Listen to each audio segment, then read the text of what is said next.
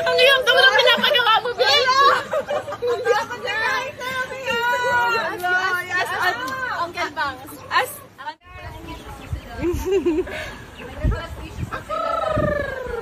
Nag-request